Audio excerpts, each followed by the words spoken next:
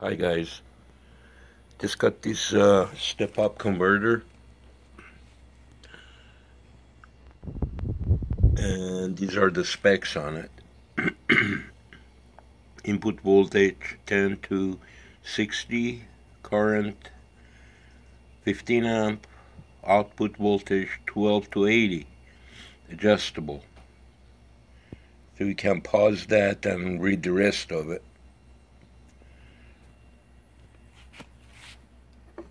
This is the input side. And it's got a 1000 nanofarad capacitor. These are the adjustment for the amps and the voltage. It's got a fuse and a power LED and a toroid type transformer. These are the output capacitor, 100 volts. And the input should be about 60, I believe.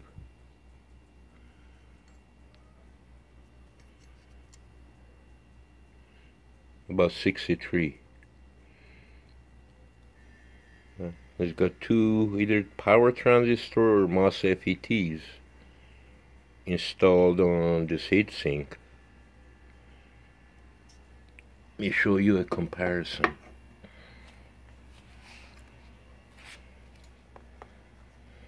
It's a little bigger than a pack of cigarettes.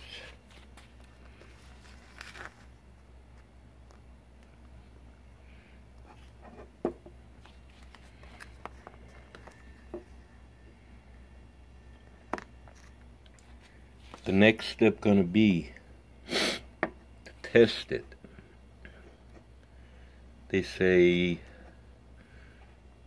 10 to 60 volt input. An input current maximum of 15 so I may hook up a battery and check the output readings on it. So stand by please okay I have the converter hooked up to a 12 volt battery 8 amp an hour so I'm way below the 15 amp maximum input of the device. And the output is connected to my uh, volt ohm meter.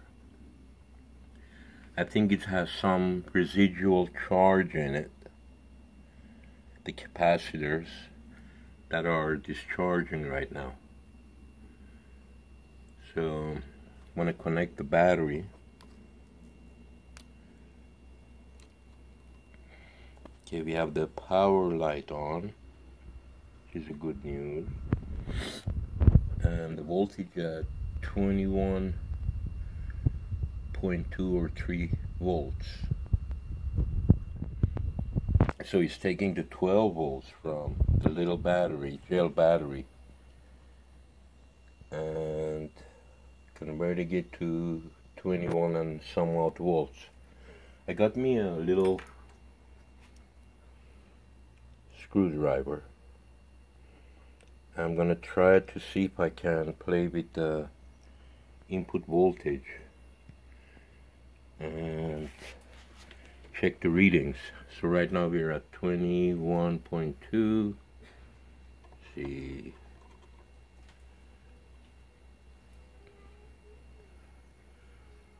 I'm turning the voltage adjustment clockwise and the voltage is going up.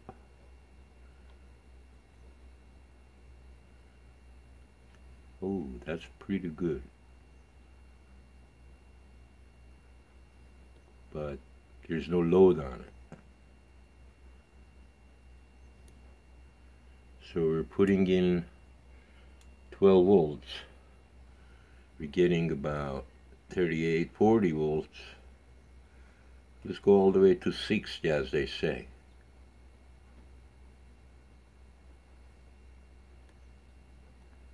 Fifty.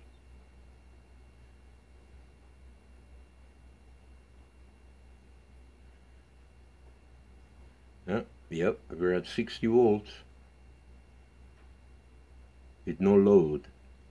This is enough to run my charge controller over there. That'll be amazing. Oh, wait a minute, we're going to 65, 66, 7. Let's push it all the way.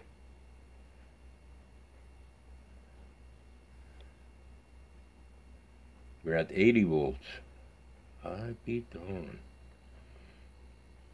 80 volts at 10 amps.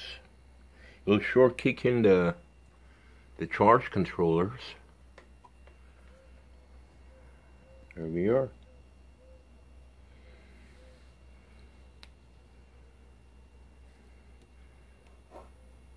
I don't feel any heat, but again, there's no load on this device.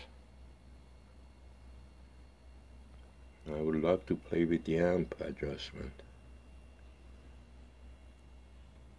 Okay, it seems promising guys, so I'll hook it up to the panels